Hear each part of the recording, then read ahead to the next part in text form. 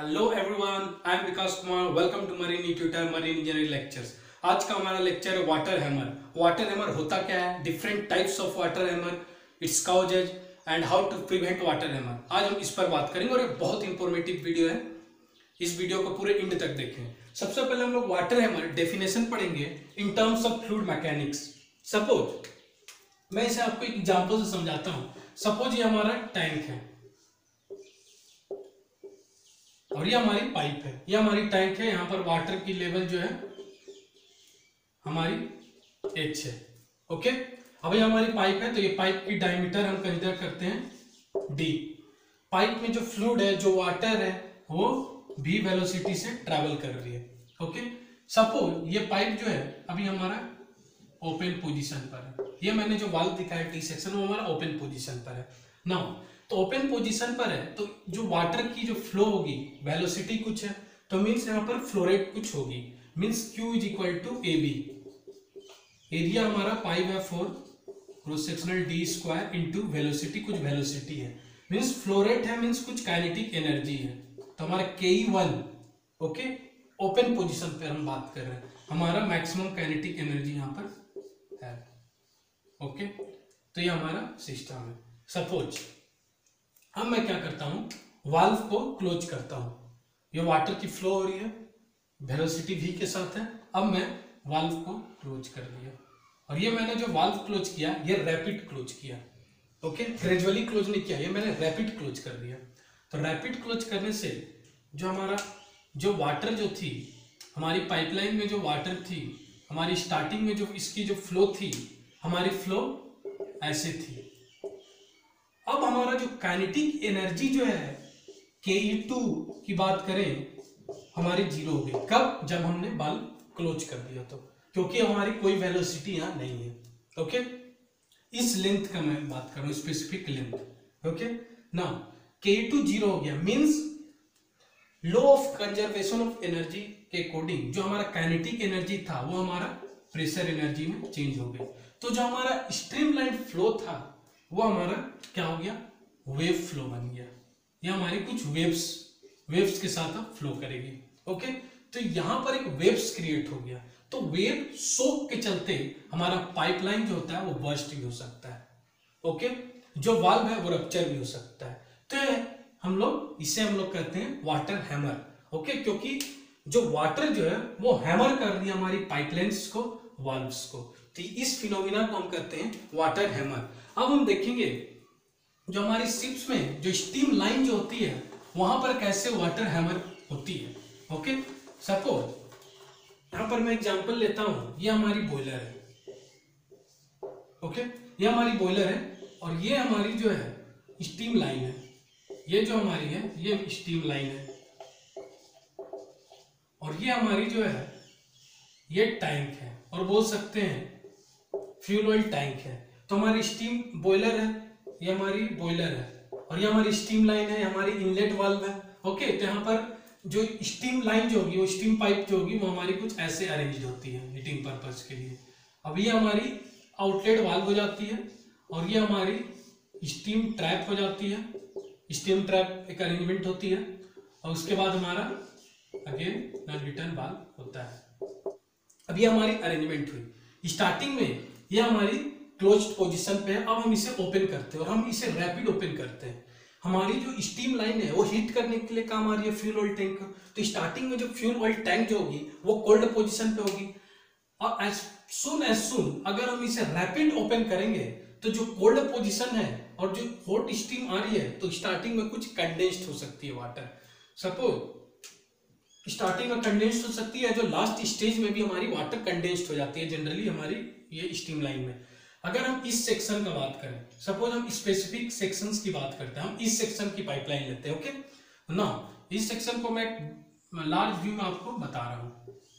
ना स्टार्टिंग मैंने बोला था, हमारा कंडेंस्ड पार्टिकल कुछ है। ये जो आप देख रहे हो ब्लैक कलर ये मैंने कंडेंस्ड पार्टिकल बनाया है ओके अब क्या हो रहा है हम लोगों ने डायरेक्टली स्टीम जो इनलेट जो वाल्व है, वो हम लोग डायरेक्टली रैपिड ओपन करते हैं। तो इससे हमारा क्या होता है? फुल स्पीड में हमारी स्टीम आएगी। ये स्टीम जो है स्टीम जो है रेड कलर ये फुल फ्लो में आएगी स्पीड में आएगी। तो जिसके चलते हमारा क्या होगा? अगर ये फुल स्पीड में आएगी तो कुछ एक प्रेशराइज स्टीम है तो हमारा जो नीचे फ्लूड है, उसको कुछ प्रेशर करेगी। तो प्रेशर के चलते हमारा जो फ्लूड की जो नेचर है, वो हमारी वेव फॉर्म वेव फॉर्मेशन करेगी। और आगे हमारी सपोज़ हमारी ये बेंडिंग मैंने ये आपको, ये सेक्शन भी हम लोगों ने कंसिडर कर लिया है। ये हमारी बेंडिंग है। ओके ना अब इससे क्या होगा? जो स्टीम की जो फ्लो है ओके और फ्लो के चलते जो कंडेंस्ड पार्टिकल है, वो वेव नेचर में आएगी। तो इससे क्या होगा? जो स्टीम है स्टीम क्या करेगा हमारी? इस पार्टिकल्स को ड्राइव करेगा। कंडेंस्ड पार्टिकल को ड्राइव करेगा। इसलिए हम इसे कहते हैं स्टीम फ्लो ड्रिवन क्योंकि जो कंडेंस्ड वाटर जो है, वो स्टीम के थ्रू ड्राइव हो रहा है और जिससे हमारी प्रेशर वेव बन रही है जिससे हमारी चांसेस होती है, जो ट्यूब्स जो होती है पाइपलाइंस जो होती है, वो रप्चर होने की। तो ये हमारा इसे हम कहते हैं steam driven flow I hope आपको समझ में आ रहा होगा। क्यों स्टीम ड्रिवन फ्लो क्यों? क्योंकि जो हाई स्टीम और प्रेशराइज स्टीम है, वो हमारी कंडेंस पार्टिकल को फ्लो कर गया जिसके चलते हैमरिंग फिनोमिना हो रहा है। और उसी को हम लोग कहते हैं steam driven flow water hammer ये हमारी पहली टाइप्स थी। अब हम बात करते हैं सेकेंड टाइप की। नाउ सेकेंड टाइप में क्या होता है? सपोज़ सेम कंडीशन हम लेते हैं ओके सेम कंडीशन लेते हैं। यहाँ हमारी, आप देख रहे हो कंडेंस्ड वाटर है। सेम हमारी स्टीम जो है हाई वेलोसिटी के साथ फ्लो कर रही है। ओके तो इससे हमारा क्या होगा? अगेन वेव्स जनरेट होगी। ओके तो हमारी वेव्स जनरेट हो रही है। तो यहाँ पर हमारी क्रेस्ट बोल सकते हैं और ये हमारी ट्रफ है। ये हमारी क्रेस्ट है और ये हमारी ट्रफ है।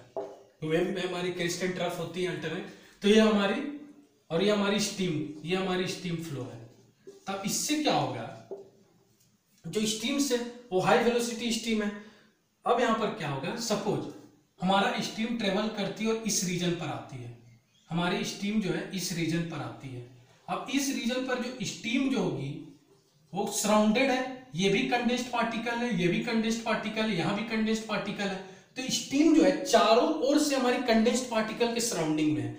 तब हमारा स्टीम जो है, कम टाइम लेगी वो कंडेंस्ड होने में। मीन्स यहाँ स्टीम इटसेल्फ कंडेंस्ड हो जाएगी। स्टीम कंडेंस्ड हो जाएगी। ओके? तो हम लोगों ने रेशियो पढ़ा हुआ है, अगर वाटर से स्टीम कंडेंस्ड होती है तो उसकी वॉल्यूम इंक्रीज होती है 1600 टाइम्स अगर हमारा स्टीम से अगर वाटर में चेंजेस आएगी तो वॉल्यूम रिड्यूस उतना ही टाइम होगी. मीन्स यहाँ पर क्या हो रहा है, जो स्टीम की जो एक्सपांडेड पार्टिकल्स थी, ओके, वो हमारी कोलाइड कर रही है और हमारी वाटर पार्टिकल्स में कन्वर्ट हो रही है. तो इससे क्या होगा? ट्रिमेंडस कोलिजन जनरेट होगा। ट्रिमेंडस कोलिजन जनरेट होगी।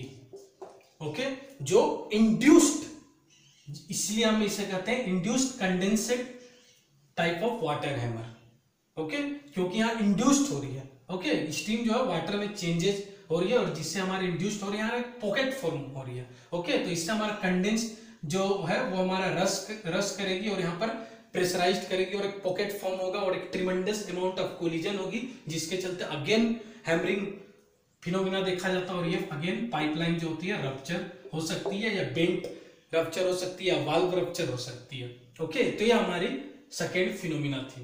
तो ये हमारी फ़ंक्शंस थी। नेक्स्ट हम पढ़ेंगे काउजेज एंड प्रिवेंशन तो सबसे पहले हमारे काउजेज का बात करें।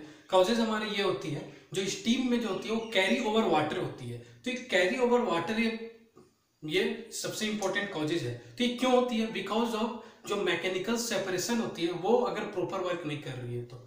मैंने स्टीम ड्रम में आप लोग को पढ़ाया था mechanical separation like primary separator chevron separator dry box अगर एंटी प्राइमिंग अगर ये सारी चीज़ें अगर फ़ंक्शन सही से नहीं कर रही है, उसकी इफिशियंसी डिक्रीज हो गई है तो क्या होगा? प्रॉपर डाई स्टीम प्रोड्यूस नहीं होगी, जिससे हमारी कैरी ओवर वाटर कुछ प्रेजेंट होगी। तो इससे हमारा वाटर हैमर की चांस होती है। क्योंकि वाटर हैमर क्यों होता है? क्योंकि स्टीम की पार्टिकल कंडेंस्ड होती है वाटर में फिर स्टीम उसे ड्राइव कर दिया है कंडेंसेट इंड्यूस्ड होती है इसलिए होती है। सो अगर हमारी स्टीम ही ड्राई होगी तो हमारा जो भी वाटर पेपर वो कंडेंस्ड होने का चांस ही नहीं है।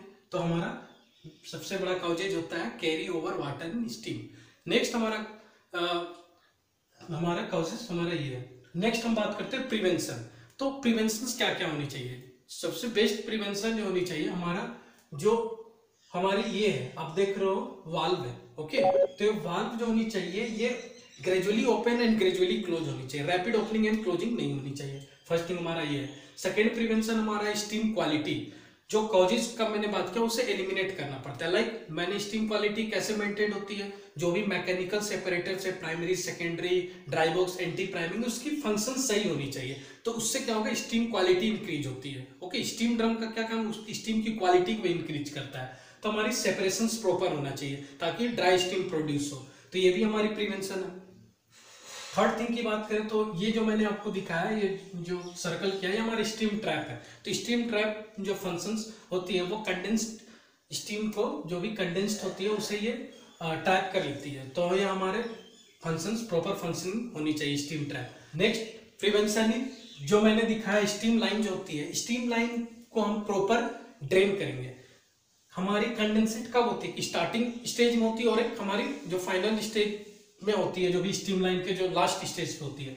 तो बिफोर स्टार्टिंग जो भी फ्यूल टैंक को हम हीट कर रहे हैं तो स्टीम लाइन को जो हम प्रॉपर ड्रेन करेंगे, ताकि कोई भी कंडेंसेट ना हो स्टीम लाइन में। तो हमारी एक नेक्स्ट प्रिवेंशन बोल सकते हैं। एंड नेक्स्ट अदर और लास्ट प्रिवेंशन हम बोल सकते हैं हमारी वेलोसिटी जो भी हम वेलोसिटी जो स्टीम वेलोसिटी सप्लाई करें हो हम ग्रेजुअली इंक्रीज करेंगे। अगर हम सडन फुल स्टीम वेलोसिटी अगर इंक्रीज करेंगे तो large velocity means large impact of force तो लार्ज इंपैक्ट ऑफ़ फोर्स के चलते भी हमारा वही सेम फिनोमिना होगा जिसके चलते हमारा वाटर हैमर होगा।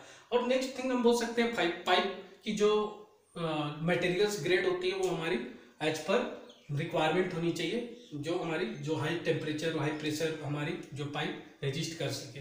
तो ये हमारी प्रिवेंशन थी। तो ये आज की हमारी वीडियो थी water hammer types of water hammer causes and prevention अगर आपको कहीं डाउट है तो आप नीचे कमेंट बॉक्स में आप कमेंट कर सकते हो। अगर आपको वीडियो अच्छा लगा तो प्लीज़ लाइक एंड सब्सक्राइब कर दें। And thank you for watching this video